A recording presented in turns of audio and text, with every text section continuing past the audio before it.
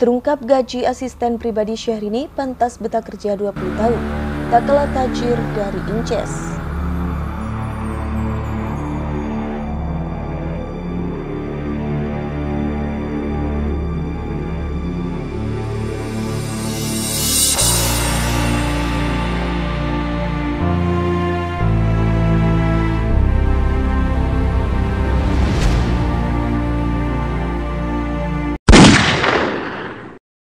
Dapur berita artis terkini. Hai guys, semoga kabar Anda baik-baik saja. Selamat datang kembali di channel Duster Infotainment.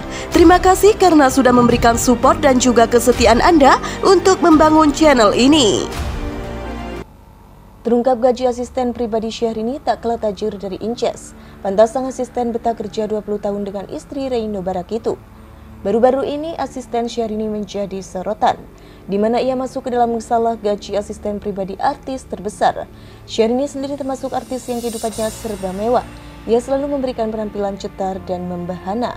Mulai dari atas hingga ke hingga kaki, bahkan barang-barangnya terlihat branded. Apalagi jika ia sedang melakukan konser di atas panggung. Syahrini juga termasuk salah satu penyanyi yang bayarannya tinggi, namun tak hanya Syahrini, asprinya pun juga demikian, memiliki bayaran yang tinggi. Bahkan beberapa sumber menyatakan kalau gaji aspri Syahrini bisa untuk membeli mobil dan juga rumah. Lalu berapa sih gajinya? Melansir dari Instagram @lambedanu_official, asisten Syahrini masih ke dalam aspri dalam bayaran mahal. Wanita bernama Elin itu disebut memiliki penghasilan capai ratusan juta rupiah. Elin sendiri sudah bekerja selama 15 hingga 20 tahun. Ia memang sangat setia mendampingi Syahrini, maka tak heran jika Elin menjadi orang yang sangat dekat dengan Syahrini. Dikutip dari salah satu berita online, gaji Elin setiap tahun mengalami kenaikan. Dari hasil tersebut, ia bahkan bisa membeli rumah, tanah, sawah, dan juga aset lainnya. Gaji Elin selalu bertambah setiap tahun. Hasil gaji tersebut mampu membuat Elin membeli rumah, tanah, sawah, dan juga aset lainnya di kampung halamannya.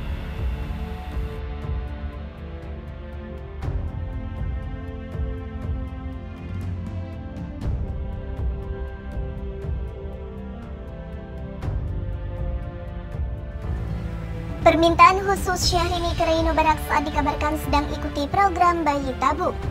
Syahrini mengungkap permintaan khusus ke Reino Barak saat Santer disebut sedang mengikuti program bayi tabung.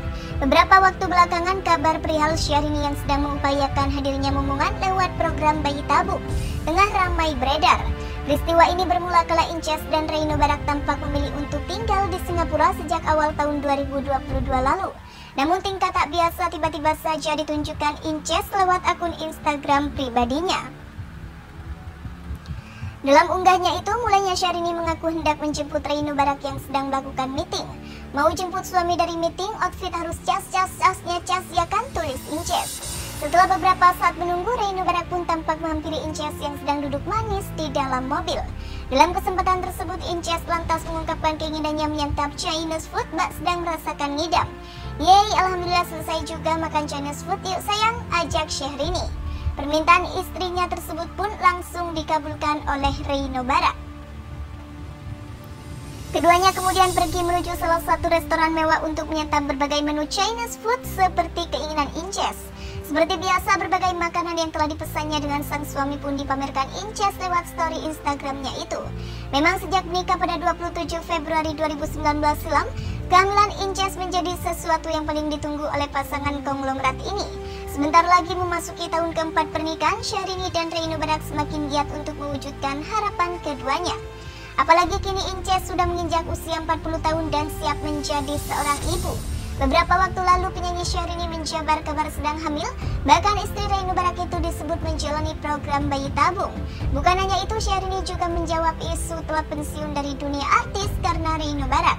Hal ini diungkap penyanyi yang akrab disapa Inces itu ketika ditemui Warta Kota di Jalan MH Tamrin, Jakarta Pusat. Ketika ditanyakan terkait kehamilannya itu, Syahrini tidak langsung menjawabnya. Aku belum bisa jawab, kata Syahrini.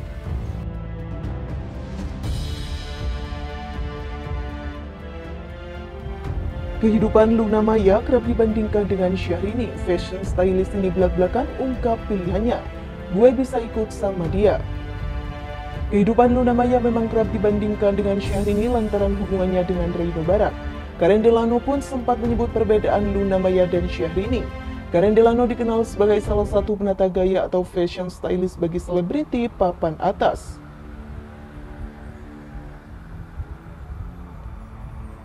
Karen Delano pun sempat bekerja dengan Syahrini selama beberapa tahun.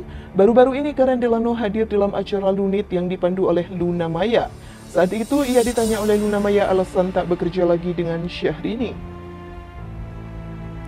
Coba dong aku penasaran masalahnya apa sih kok udah nggak ada stylistnya kata Luna Maya. Nggak dia tuh bilang soalnya gue bakalan jadi pemenang kan sebenarnya sahabatan kan. Tadi kan katanya gue yang dipecat lah dia yang dipecat jadi temen ujar Karen Delano. Luna yang mendengar celotehan dari Karen Delano sontak tertawa terbahak, bukan dipecat Beb, nggak dianggap tutur Luna Maya. Perbincangan mereka pun berlanjut, Luna Maya bertanya mengenai masalah fashion kepada Karen. Akhirnya Luna meminta Karen untuk memilih satu di antara dua artis yang ia sebutkan. Via Valen atau Dewi Persik? Tanya Luna Maya.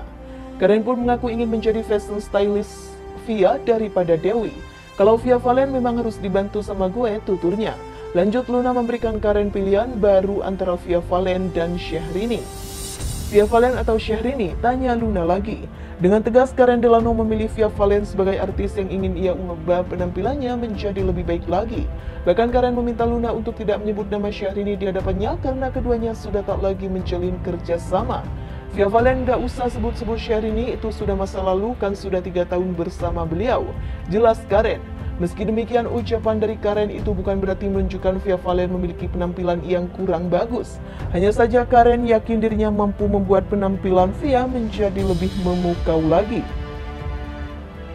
Kemudian Akbar Kobar yang juga menjadi host dalam acara tersebut mencoba memancing Karen Delano dengan membandingkan Luna Maya dengan Syahrini. Kalau Luna Maya dengan Syahrini, tanya Akbar Kobar. Maksudnya gimana? Jawab Karen Delano dengan bingung. Ya tadi kalau mau di makeover antara Luna Maya dengan Syahrini pilih mana? Ujar Akbar Kobar menjelaskan. Kalau bahasa makeover itu kayaknya nggak enak ya, seakan dandanannya dia jelek banget, ujar Karen. Tapi kalau disuruh pilih jadi stylist Luna atau Syahrini, ya Luna lah sambungnya. Soalnya kan Luna itu ke Paris Fashion Week, London Fashion Week, New York Fashion Week. Jadi gue bisa ikut sama dia, tuturnya. Akbar Kobar pun langsung menimpali perkataan Karen, kalau Syahrini lebih ke Tokyo ya, ujar tertawa. Perkataan Akbar itu pun langsung membuat Luna Maya dan semua orang yang ada di studio tertawa.